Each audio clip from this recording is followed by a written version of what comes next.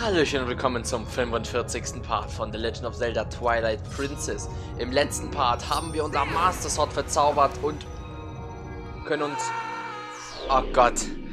Und können nun dieses schwarze Nebelzeug mit unserem Master Schwert wegmachen.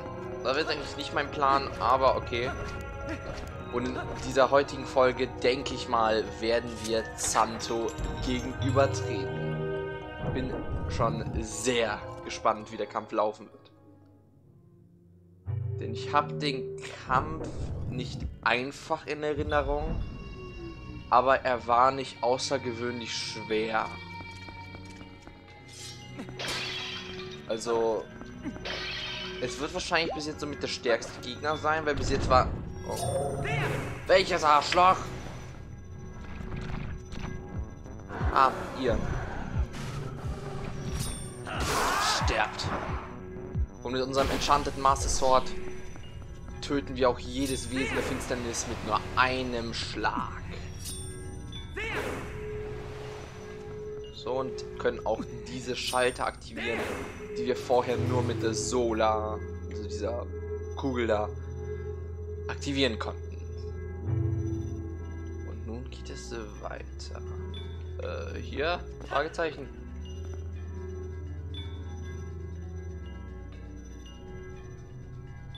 Nein, nicht hier. Okay. Ich war mitten im Nebel. Ich dachte, ich verwandle mich jetzt. Aber nee. Anscheinend müssen wir jetzt raten, wo es richtig ist. Hier vielleicht? Auch nicht.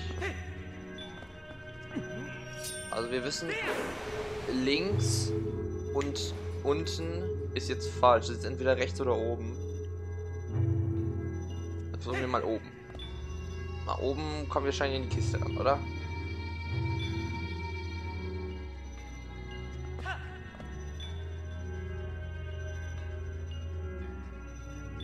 Ja, jetzt komme ich hier an die Kiste ran, oder was auch immer hier ist.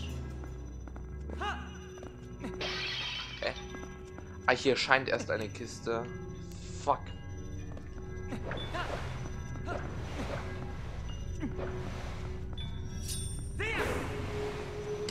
Noch irgendwas? Irgendwie ein Schalter oder so? Hier sind Vasen noch. Aber wir brauchen jetzt eigentlich nichts aus den Vasen. Also vielleicht Pfeile. Pfeile werden praktisch, wo ich es mir recht überlege.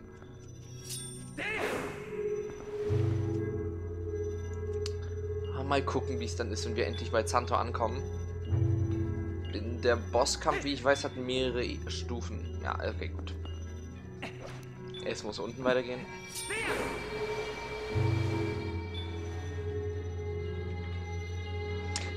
Vermisse die Zeiten wie in Ocarina of Time, weil Ocarina of Time hatte ein paar sehr gute Sachen, zum Beispiel, dass man sich an die, ähm, an Kisten und so ranziehen konnte. Das fand ich sehr, sehr cool. Wenn ich, äh, wenn ich so zugeben kann.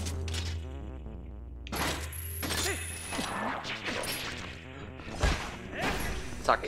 Ja, und wie ihr seht, in unserem Enchanted Master Sword können wir easy peasy jedes Wesen der Schatten äh, der Finsternis besiegen. Ich frage mich, wie das dann mit Zanto ablaufen wird. Ah ja, apropos Zanto, da ist auch schon einer seiner Schädel. Oder einer seiner Masken, besser gesagt.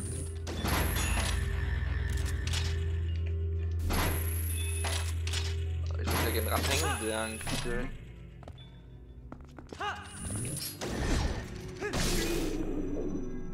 Ich denke mal, die Kiste erscheint, wenn, wenn ich jeden Santo-Kopf besiege, der hier jetzt auftauchen wird. Wo ist der nächste? Ah, okay, gut. Ich sehe schon, was weitergeht. Nach oben. Dann wieder nach unten, dann wieder nach oben.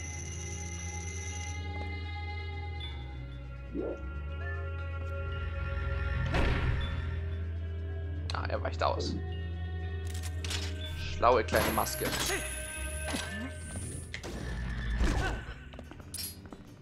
Töten. Schön. War's das? Ja, das war's. Und wahrscheinlich die Kiste unten taucht jetzt auch auf, oder? Ah ne, das ist die Kiste hier. Okay, gut. Dann taucht da unten schon nichts auf. Okay. kleiner Schlüssel, den wir hier gleich brauchen werden irgendwo. Irgendwo. Keine Ahnung wo, aber irgendwo brauchen wir den schon. Geht's weiter nach oben? Äh. Bis da oben geht's jetzt nicht an weiter. Wie soll ich da hinkommen? Voll? Mit nachspringen oder so? Keine Ahnung. Weißt du weiter? Also, los, zerschlagen mit diesem Schwert die Finsternis. Äh, wir folgen dem Weg, der uns zu Santo führt. Ja, das habe ich doch schon gemacht. Ah ne, hier geht's weiter. Okay, gut, ich dachte, hä? Aber nee, wir müssen einfach nur die Plattform nehmen, die hier aufgetaucht ist. Ich habe die vorher nämlich gar nicht gesehen. Fährt mich rüber? Ja, sie fährt mich rüber. Ich muss mich nicht rüberschießen. Geil! Übrigens, in der letzten Folge ist mir aufgefallen, dass mein Mikrofon schleck äh, schrecklich, ja, schrecklich gerauscht. Oh, wir sind kurz vom Boss. Schrecklich gerauscht hat. Deswegen habe ich jetzt eine Geräuschunterdrückung. Hoffe, das hilft. Ah, okay.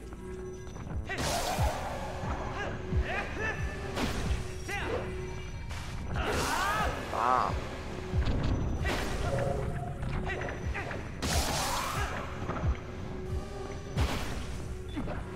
Vor euch. Was? Hat Santo nicht mehr zu bieten?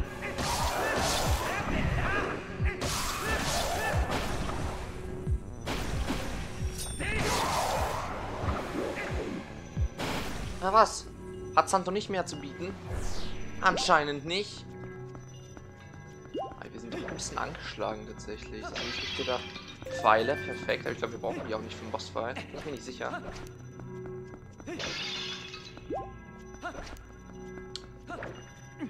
Also gut. Dann ist hier wahrscheinlich der Thronsaal.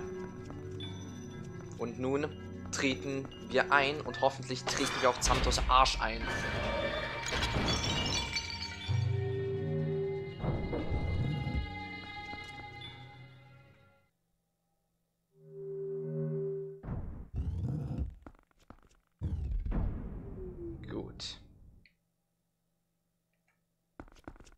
Ist, sitzt auch schon.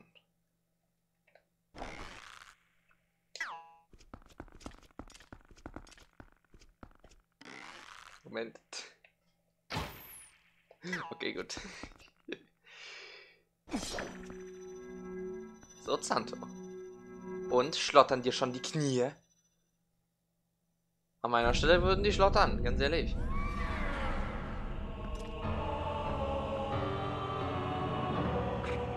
Santo.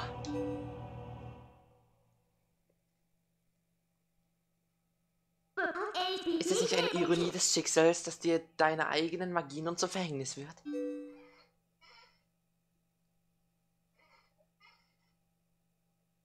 Unser Volk ist lange Zeit unterdrückt worden.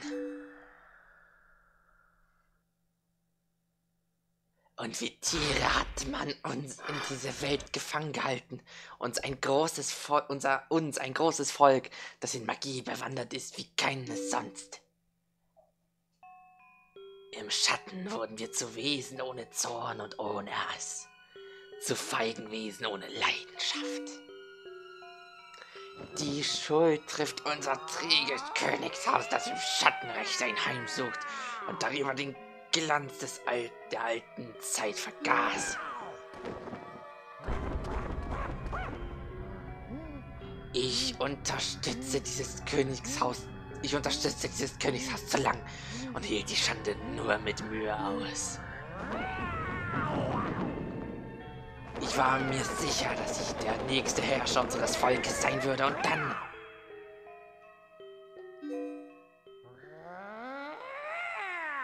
verweigert mir das Volk die Anerkennung und ich erhalte nicht die Macht, die eines Oberhaupt des Schattenvolks gebührt. Doch dann begegnete ich inmitten von Zorn und Verzweiflung einem fleischgewordenen Gott. Einem Gott. Ja gut. Ich denke mal, wir fahren jetzt mehr über deinen Gott. Da rennt er raus, wie die kleine Bitch, die er ist, und heult rum.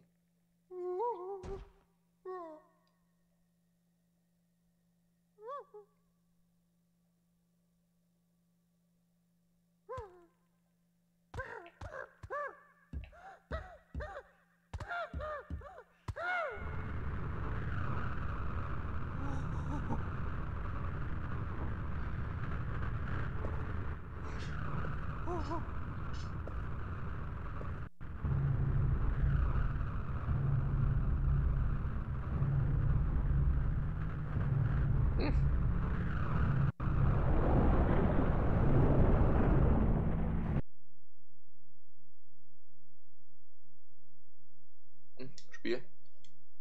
Bitte. Please respond. Es hat sich nicht geschlossen. Ah, doch, da geht's. Es tut mir leid.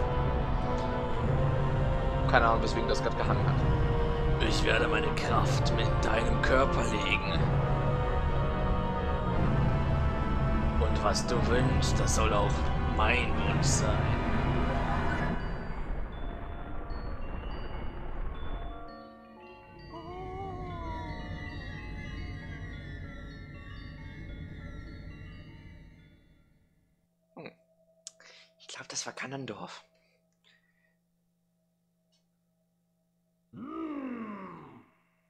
Mein Gott und ich teilen nur den einen Wunsch.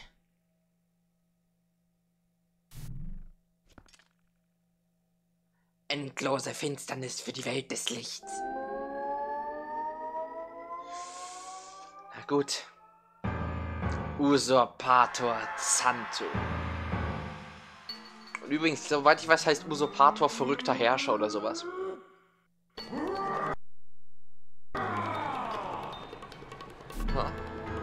Ha. Oh. What? Hast du das gesehen? Friss!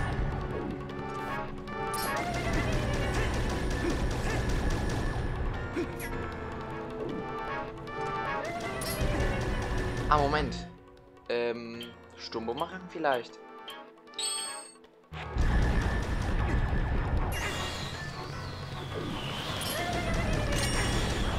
Ah ja, tatsächlich.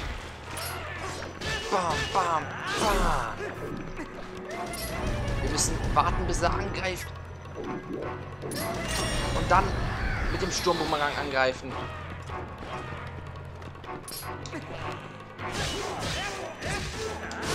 Bam. Hat ihm nicht geschmeckt. Ja. Zwischenraum des zweiten Bosses. Ähm, des zweiten Dungeons. So.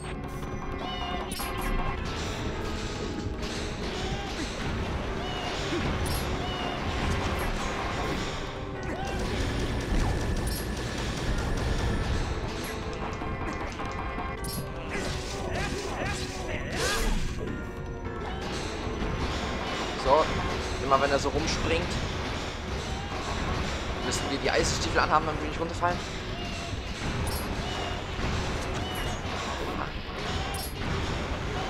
Pfeile bringen auch nichts, wie ich merke. So, dann wird er müde und dann wird ihm auf die Fresse gehauen. Musik ist echt cool. Ähm, okay. Dritter Boss. Müssen wir uns erstmal umziehen. Und dann brauchen wir die hier und auch die hier. So, und der macht folgendes. Der schafft hier erstmal so eine so eine fette Zanto-Maske. Ah, da. Ah, dreht er sich zu mir? Ja, er dreht sich zu mir.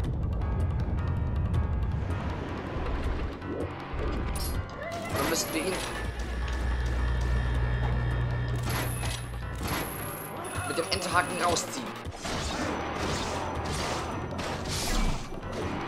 Auch in den Kunsten des äh, Wasserkämpfens bewandert, mein Freund. Keine Sorge. Bis jetzt läuft der Bosskampf sehr gut. Aber die schwierigste Phase kommt noch. Weil ich weiß, ist das hier die nervigste. So, jetzt müssen wir in die Mitte und müssen rausfinden, welcher der echte ist von den ganzen hier. Beziehungsweise wo der ist. Weil ich glaube, da ist nur einer. Da ist er. Und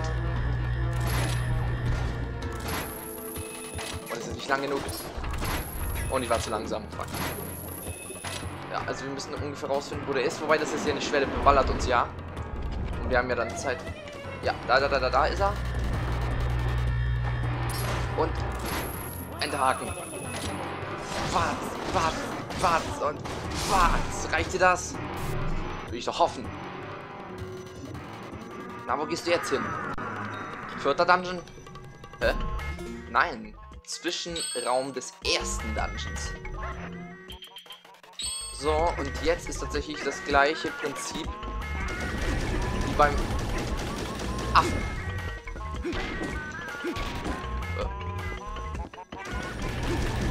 Einfach gegen den Pfahl rollen. Gegen den Pfahl rollen, auf dem er steht. Am besten zweimal, damit er auch runterfällt und dann schön seinen Arsch bearbeiten. So. Ist, wie ich finde, sehr einfach die Phase.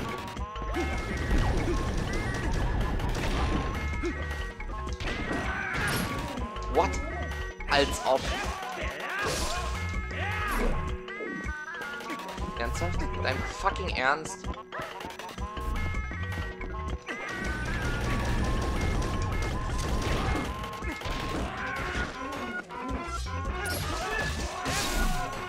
Bam, hast du genug? Immer noch nicht. Ah, jetzt. Fünfter Dungeon. Wir haben den vierten übersprungen. Und der wird echt groß. Und wir müssen aufpassen, dass er uns nicht zerstanzt. Und dann ihn mit dem Morgenstern verprügeln. Dann wird er immer kleiner. Bis er dann ein bisschen sehr klein wird. Und wir ihn dann arbeiten können. Also auch super cool. Ich finde den Bosskampf so geil bis jetzt. Ich glaube, die harte Phase kommt noch. Die harte Phase ist dann wirklich Mann auf Mann Schwertkampf. Das sind sowieso so die coolsten Kämpfe. Und er wird immer schneller. Bam. Aber wir haben es. Und ich glaube, jetzt kommt die schwierige Phase, oder? Und ja, wir sind außerhalb von Schloss Hyrule. Und er sieht auch schon selber, dass er echt verzweifelt ist. Und jetzt holt er seine Klingen raus. Und jetzt helfen uns keine Items mehr. Na gut, dann komm her.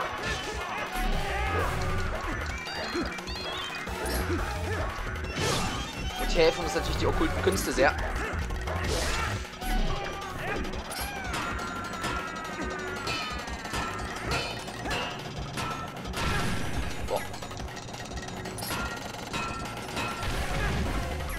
Wow. Kampf auf Beyblade-Basis, wa? Oh, wow. Da war der Sprung nach hinten dumm.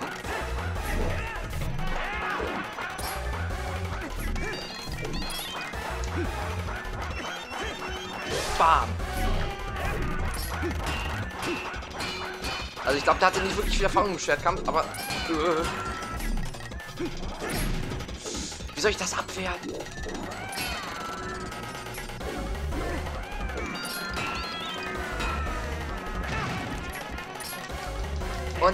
Zack und zack und zack und bam.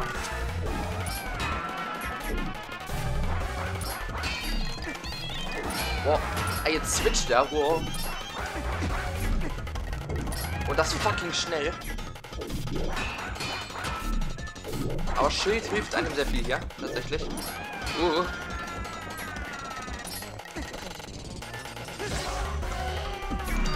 Oh fuck, ich wollte Dings aufladen. Ich nur, konnte nur einen Schlag geben. Das habe ich ja ganz vergessen, dass wir das können.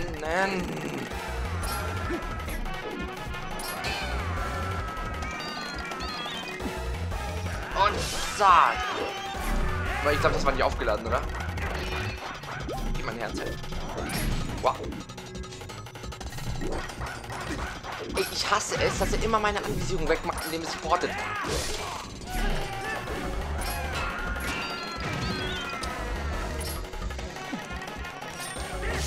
Bam! War's das?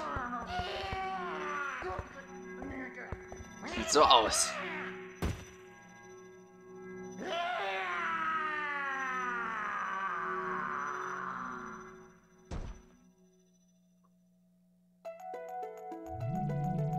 Der Schattenkristall. Stimmt, den hat er uns ja nach dem dritten Dungeon geklaut. Aber nun haben wir ihn wieder. Wunderbar. Aber Midnas Fluch ist immer noch nicht gebrochen.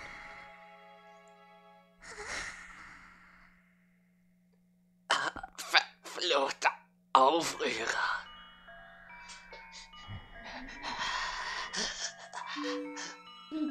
Du solltest es erfahren. Dass du nicht unser Oberhaupt werden konntest, liegt an deinen Augen.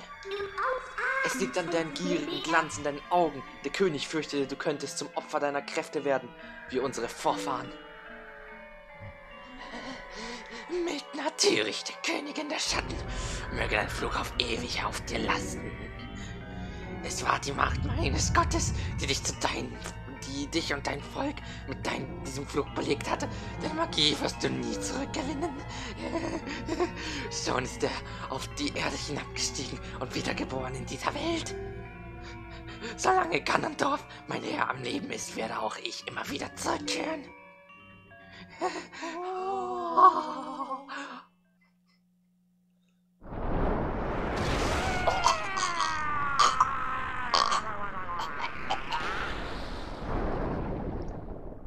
Verfickte Scheiße, was war das? Ich. Das war doch nur ein kleiner Teil meiner Kraft. Und die ist doch um so viel schwächer als die Macht, die unser Volk in alten Zeiten besaß. Anscheinend nicht, wenn du ihn wie ein Luftballon zerplatzen liest. Mann, wo ist der Herzcontainer? Dark, er wird es wird Zeit, Zelda zu retten. Meine Magie habe ich zwar nicht zurückgewinnen können, aber es bleibt uns immer noch die Macht des Schattenvolkes. Damit kann ich auch Zeldas Kraft wieder erwecken. Und diese Kraft wird für uns unverzichtbar sein. Und wo ist der Herzcontainer? Also, lass uns äh, gehen. Prinzessin Zelda wartet. Ah, da ist er. Bei Santos Thron. Zahl deiner Herzen steigt um eins. Jetzt haben wir 14 Herzen, glaube ich. Ich kann dich von hier wegbringen, aber bist du auch sicher, dass du nichts vergessen hast? Ich bin mir hundertprozentig sicher. Ich habe ganz und gar nichts vergessen. Vielleicht diese eine Kiste holen können, aber ich glaube. Oh, ups, da waren nur Rubinen drin. Spiel speichern, sehr gerne. 29.06. Das ist gar nicht mal so lange her. Nur drei Monate oder so. okay. Dann sind wir wieder hier.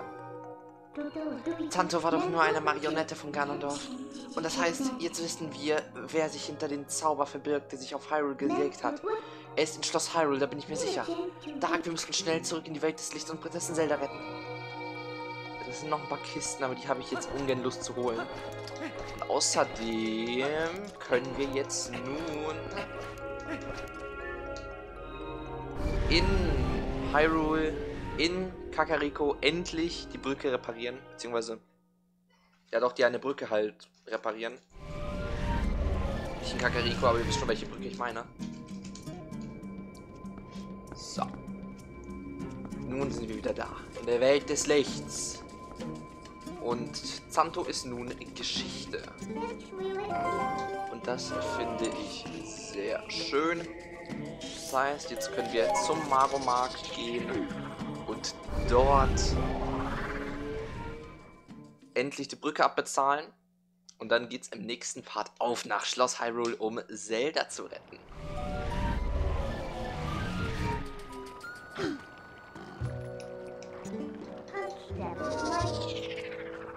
Schön. Nein, nein, Eprona, ich, ich, will, ich will dich nicht reiten. Ich will nicht auf Eprona reiten, ich möchte rollen. Äh, Das war schön in Majora's Mask, wo man die Hasenohren bekommen hat, mit denen man schneller war. Bei Green of Time gab es die dann auch, aber die haben wir nicht schneller gemacht, die waren nur Teil einer Quest. Aber gut. So. Für die Reparatur der Brücke zur Sicherung des Lieferung nach Hyrule brauchen wir nur noch 100 Rubine. Bitte, bitte, eine kleine Spende. Ja.